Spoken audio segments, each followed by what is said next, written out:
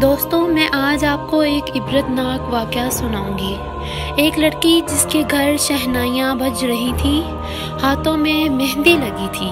ऐसा क्या हुआ कि वो कब्र में पहुँच गई? यह वाक़ बहुत ही दर्दनाक है। इसे सुनने से पहले दिलों को थाम लीजिए। ये एक सच्चा वाक़ है जो इसी दुनिया में हुआ है। ये कहानी एक नहायत ही बदतमीज़ और बिगड़ी हुई लड़की की है, जो किसी को भी कुछ नहीं समझती थी। इस्लाम ने औरत के लिए जिन जिन बातों पर अमल करने का हुक्म दिया है, उन पर कभी भी अमल नहीं करती थी। उसकी माँ उसको बहुत समझाती थी, लेकिन वह उनके साथ भी इंतहाई फजूल लहजे से बात करती थी और कहती थी, ठीक है ठीक है, अभी शादी को बहुत वक्त पड़ा है, देखा जाएगा। अभी उसकी शादी तय हो चुकी थी और ये दिन उसकी रुखसती से एक दिन पहले का था।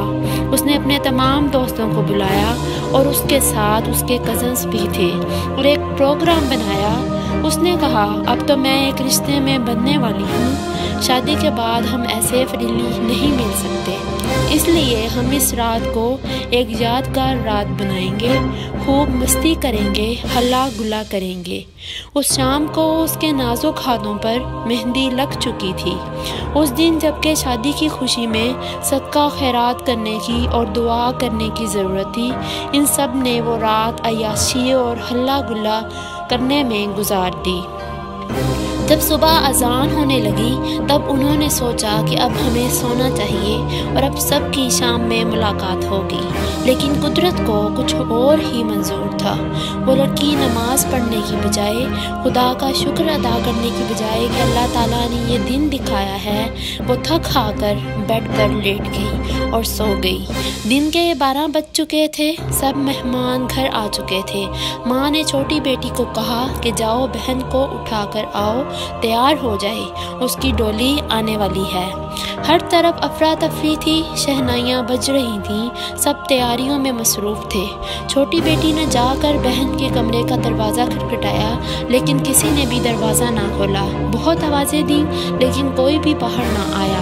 फिर दूसरी चाबी से दरवाज़ा खोला गया। सब क्या देखते हैं कि लड़की बेड पर उल्टी लेटी है। माँ बाप ने जाकर बेटी को हिलाया तो उसके मुँह से खून निकल रहा था।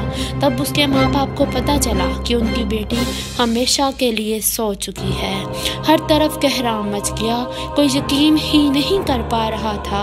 जिस लड़की की डोली अपने शोहर के घर जानी थी, उसे अंधेरी रात में कब्रस्तान की एक कब्र में हमेशा के लिए डाल दिया गया। उसके दफनाने के कुछ दिनों बाद वो लड़की अपनी माँ की ख्वाब में आई और माँ को कहती है कि मैं बहुत तकलीफ़ में हूँ, मेरे लिए दुआ करें।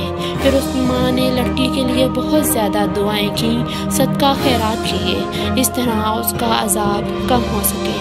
अल्लाह ताला से दुआ है कि हम सब अल्लाह और उसके रसूल सल्लल्लाहु अलैहि वसल्लम की तालीमात पर अमल करने वाले हों और अपनी आखरत को अच्छा बनाने वाले हों। आमीन।